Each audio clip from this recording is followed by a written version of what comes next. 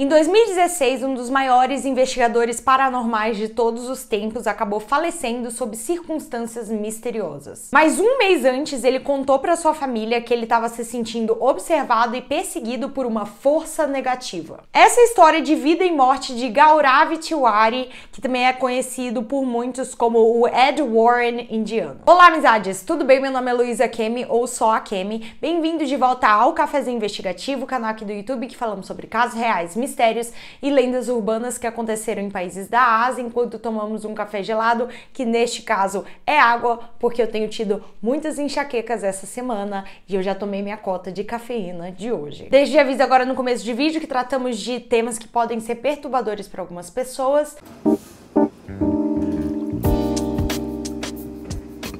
A primeira coisa que eu vou contar para você é sobre a trajetória do Gaurav Tiwari, que eu tô com, morrendo de medo de estar falando o nome dele errado, mas é um nome indiano e eu não sei exatamente como pronuncia.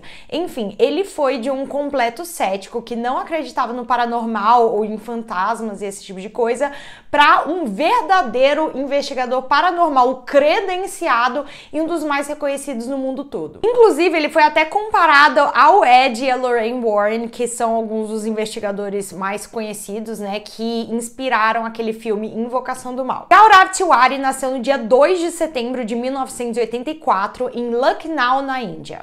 E desde muito cedo, a sua maior paixão não era o sobrenatural, mas sim o showbiz o mundo do entretenimento. E o seu sonho desde criança era se tornar ator. Quando ele completou seus 16 anos, ele já tinha feito aí algumas pontas em filmes e séries lá da Índia, mas nenhum papel assim muito grandioso. E os pais dele começaram a se preocupar dele não conseguir se sustentar como adulto seguindo essa carreira de ator, porque né, a gente sabe como a vida de um ator pode ser muito difícil. E o maior medo dos seus pais era exatamente que a sua carreira não decolasse. Então eles foram convencendo aos poucos que o jovem Gaurav mudasse de trajetória profissional. Então ele decidiu se tornar Investigador paranormal? Ainda não. Na verdade, ele quis se tornar piloto de avião, porque ele é uma pessoa extremamente multifacetada, né? E ele acabou se mudando para os Estados Unidos quando ele tinha 18 anos de idade para fazer um curso de aviação. E durante esse tempo dele nos Estados Unidos, ele morava em um apartamento com cinco outros estudantes de aviação.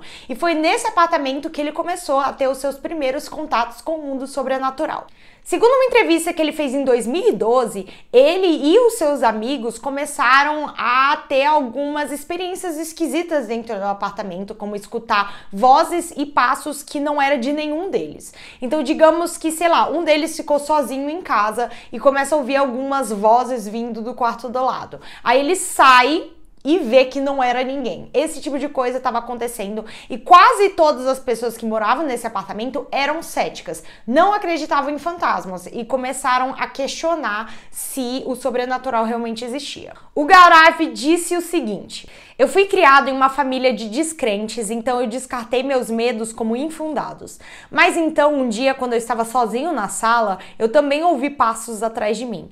Alguém até mesmo falou meu nome baixinho no meu ouvido. Achei que estava tendo alucinações, mas um dos meus colegas de quarto viu uma aparição quase na mesma hora. Os pais do Gaurav mesmo nunca acreditaram em fantasmas ou nesse mundo paranormal, digamos assim. Mas aconteciam tantas coisas inexplicáveis dentro da daquele apartamento que todas as pessoas que moravam lá presenciavam, que começou a surgir um ponto de interrogação na cabeça do jovem Gaurav.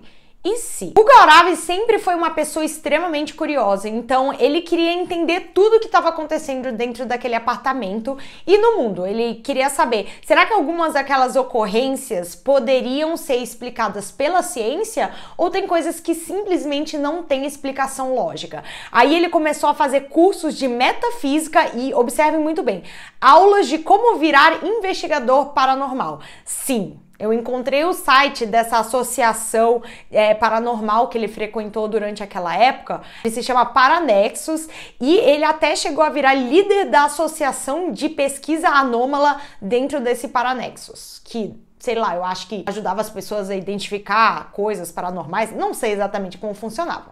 E quando ele finalmente se formou no curso de aviação que ele foi para estudar, né, ele voltou para a Índia, na verdade, com duas licenças diferentes.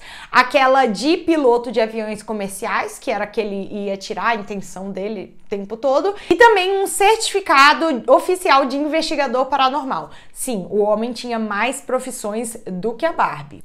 Mas a profissão que ele mais se dedicava, com certeza, era de investigador paranormal. Ele conduziu mais de 6 mil investigações em locais assombrados ou de gente que foi possuída no mundo todo.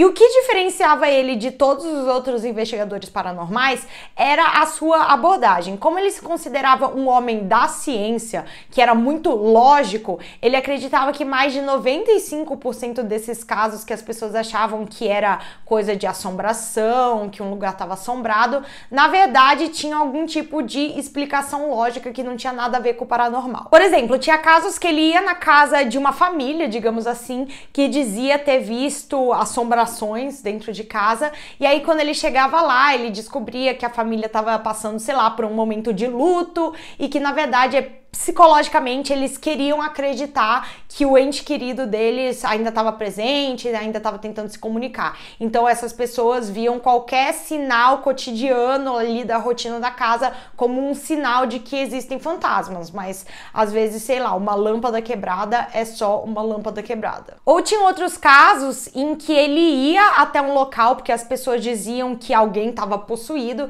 e na verdade essa pessoa possuía algum tipo de transtorno psicológico que o resto das pessoas não entendia muito bem. Ou seja, o que diferenciava ele de outros investigadores era que ele não atribuía tudo ao paranormal.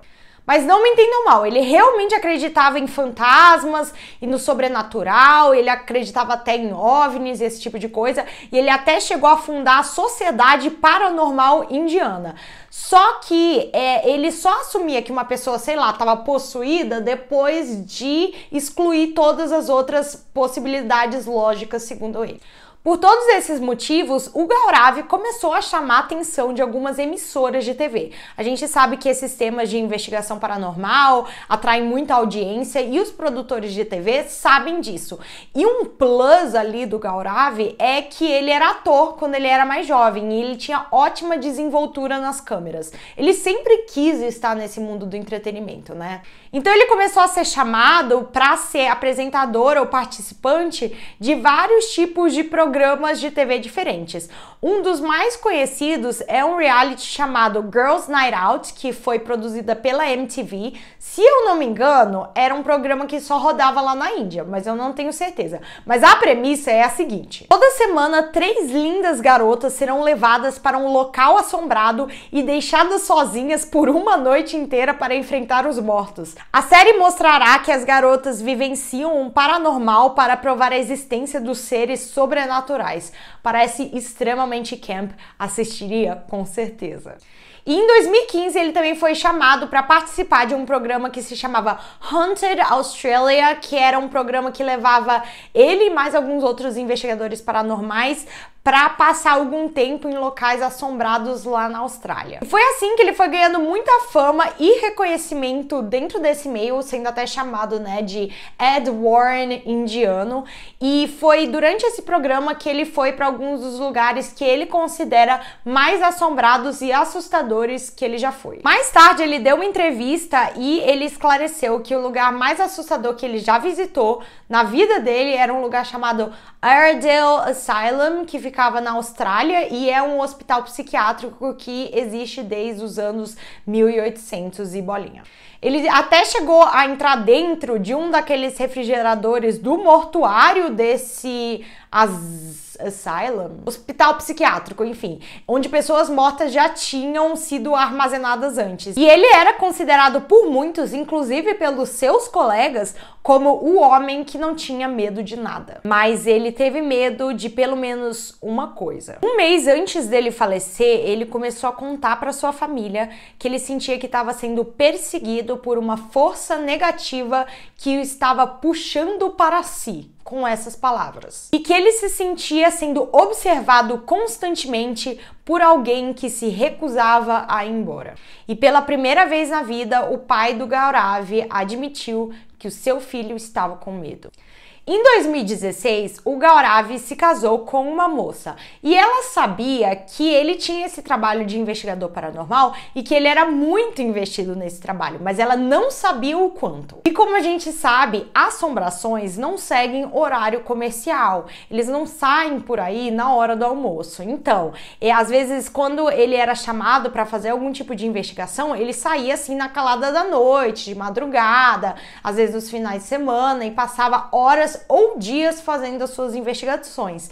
E isso chateava muito a sua esposa. No dia 6 de julho de 2016, o Gaurav e sua esposa tiveram uma grande briga, porque naquele dia o Gaurav tinha voltado para casa por volta da uma e meia da manhã, porque nas palavras dele ele estava conduzindo uma investigação paranormal. A sua esposa tinha suas dúvidas. Naquela época, o casal morava na casa dos pais do Gaurav e a sua esposa estava muito cansada de ter que meio que pausar a sua vida vida, por causa do trabalho do marido, né? Ela, eles não podiam se mudar para uma outra casa só deles, não tinham tempo um para o outro. Ela queria construir uma família e não estava dando certo com esses horários esquisitos do Gaurav. Os dois brigaram por um tempão, mas como já estava de madrugada, eles resolveram dormir e resolver as coisas logo cedo de manhã. E foi isso que aconteceu. Na manhã seguinte, os dois acordaram, fizeram as pazes e ficaram ali tomando café na sala de estar enquanto o pai do Gaurav Gaurav assistia TV. Tudo parecia que estava bem tranquilo, só que talvez não estivesse. Por volta das 11 horas da manhã, o Gaurav falou que iria é, subir para tomar banho e ele foi até o segundo andar. E depois de alguns minutos, o pai do Gaurav e a sua esposa escutaram alguns barulhos meio esquisitos vindo lá de cima. Tipo, um, eles ouviram um baque grande e depois ouviram mais ou menos o barulho da maçaneta girando lá no banheiro, né? E, e, eles não ficaram assustados de primeira porque eles falaram que a maçaneta da porta do banheiro ela era meio enferrujada, não abria direito. Então era bem comum que se eles quisessem sair ou entrar no banheiro, eles tivessem que dar uma sacudida ali na maçaneta. Então eles deixaram para lá. Eles continuaram assistindo TV, mas o tempo foi passando e deu uma hora que o Gaurav tinha saído para tomar banho. A esposa começou a achar isso meio estranho e subiu para ver o que tinha acontecido. E aí ela reparou que a porta do banheiro ainda estava fechada e trancada, ou seja, o seu marido ainda não tinha saído lá de dentro. Aí ela chamou por ele, bateu na porta, perguntou se estava tudo bem e não escutou nenhuma resposta. Na verdade, ela não conseguia escutar praticamente qualquer barulho. Não tinha barulho da água do chuveiro correndo, é, de alguém fazendo qualquer coisa lá dentro. Tava um silêncio perturbador. E aí ela chamou o pai do Gaurav para decidir o que eles iam fazer. Depois disso, ela e o pai do Gaurav resolveram arrombar a porta. E quando eles derrubaram a porta, eles se depararam com o Gaurav se debatendo no chão do banheiro, é, como se ele tivesse com dificuldade de respirar, assim, arfando, e com as mãos no pescoço. Era como se ele estivesse sufocando e desesperado porque alguma coisa estava é, parando a passagem de ar dele. Só que até onde eu entendi, não tinha nada obstruindo o pescoço dele. Guarda essa informação. A família botou ele no carro e dirigiu direto para o hospital, mas chegando lá, a equipe médica declarou que ele já havia falecido. E a família dele não teve nem tempo de processar e entender o que realmente tinha acontecido. Nem a família dele, nem os seus fãs, porque sim, essa notícia acabou estando estampando vários jornais, é, programas de TV na época, porque ele era realmente muito reconhecido. E uma das maiores discussões sobre é, esse seu momento de falecimento é que as circunstâncias da sua morte foram muito estranhas. De início, a sua família acreditava que talvez ele tivesse sofrido algum tipo de acidente, tipo bateu a cabeça ou escorregou e caiu no chão, ou que ele tinha sofrido algum tipo de ataque do coração. Mas, mas quando fizeram um exame de pós-mortem, depois ele já ter falecido, é, encontraram uma, uma marca, como se fosse uma linha escura no seu pescoço, que segundo a família dele, não estava lá antes quando eles encontraram o Gaurav no chão. E por incrível que pareça, a morte dele tinha sido declarada como asfixia. Mas como? A primeira possibilidade levantada pela polícia é que o Gaurav, como estava sozinho no banheiro, não tinha mais ninguém presente, que ele tinha tirado sua própria vida. Só que a família dele não acreditava nessa possibilidade, porque eles diziam que o, Gaurav nunca demonstrou que ele era infeliz com a sua vida, que ele tinha um dia a dia comum como qualquer outro e naquele dia tava tudo bem. E eles começaram a fazer algumas entrevistas em jornais indianos é, falando sobre as circunstâncias estranhas que aconteceram antes da sua morte. Assim, como eu falei antes, a família dele não acreditava no paranormal, eles eram extremamente céticos. Mas quando o Gaurav faleceu, eles começaram a lembrar de umas coisas que o Gaurav tinha dito para eles que acabaram gelando a espinha deles. Como eu falei antes, um mês antes da sua morte, é, ele tinha contado para a esposa que sentia que havia uma força negativa que estava é, chamando por ele ou algo assim, e que ele não conseguia controlar essa força negativa. E no começo ela pensava que era uma coisa mais assim, estresse do trabalho, como ele trabalhava dia e noite, era como se, sei lá, ele tivesse uma carga de trabalho tão grande que ele não conseguia lidar com isso. Mas depois ela começou a se questionar se não era uma coisa mais sobrenatural, porque o pai do Gaurav também contou que o filho dele tinha contado sobre essa força negativa, é, que ele estava com medo também, que era uma coisa que normalmente ele nunca tava. E a conversa que o Gaurav teve com seu pai foi mais ou menos assim. Tenho me sentido extremamente desconfortável há algum tempo. Estou sendo seguido, estou sendo observado por alguém que se recusa a me deixar. E outra coincidência assustadora é uma coisa que o Gaurav tinha contado para sua família várias vezes antes. Ele gostava muito de um filme de terror que se chama A Profecia e sem dar muitos spoilers, tá? É, tem uma parte desse filme em que dois dos personagens falecem. E logo depois disso, aparecem algumas marcas escuras nas últimas fotos que foram tiradas desses dois personagens. Assim, eu, eu realmente assisti esse filme, mas eu não lembro de nenhum desses detalhes, então eu encontrei na internet, tá? E aí parece que em um desses personagens, a marca preta que aparece na foto é exatamente uma linha preta que passa passa no pescoço dela, é, já que ela falece enforcada. E quem foi encontrado com uma marca de linha preta no pescoço na vida real? o próprio Gaurav. E segundo ele, antes de falecer, ele contava para todo mundo que espíritos vingativos faziam esse tipo de coisa, que eles marcavam as pessoas com essas marcas escuras antes de, né, dar um fim nelas, porque queria mostrar para os outros que foi uma morte por vingança. Então, apesar de céticos, a família dele começou a se questionar se os fantasmas e espíritos que o Gaurav tinha perseguido sua vida toda não estavam voltando agora para se vingar dele.